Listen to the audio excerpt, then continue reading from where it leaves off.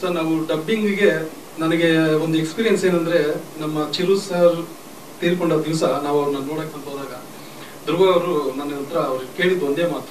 ಆ ಸಮಯದಲ್ಲಿ ಆ ಸನ್ನಿವೇಶದಲ್ಲಿ ಅವ್ರು ನನ್ನ ಕೇಳಿದ್ದು, ಅಣ್ಣ ಡಬ್ಬಿಂಗ್ ಮುಗಿಸಿದ್ರ? ಇನ್ನೂ ಇಲ್ಲ ಸರ್ ಡಬ್ಬಿಂಗ್ ನಾನು ಮಾಡ್ಕೊಡ್ತೀನಿ.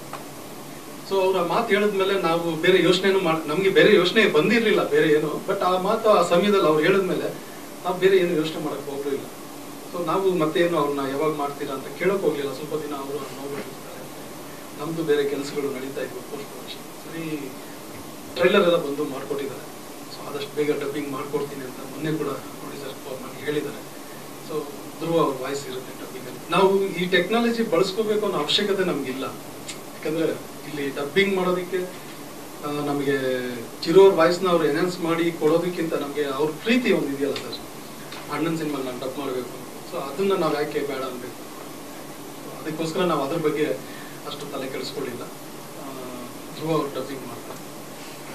ಜೊತೆಯಲ್ಲಿ ನಮ್ಮ ದರ್ಶನ್ ಸರ್ ಕೂಡ ಒಂದು ಸ್ಟೋರಿ ನರೇಷನ್ ಇದೆ ಕಥೆಯಲ್ಲಿ.